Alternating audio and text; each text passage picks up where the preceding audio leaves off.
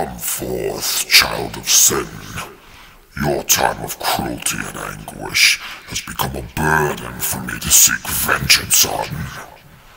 I crave the despair of your eternal soul.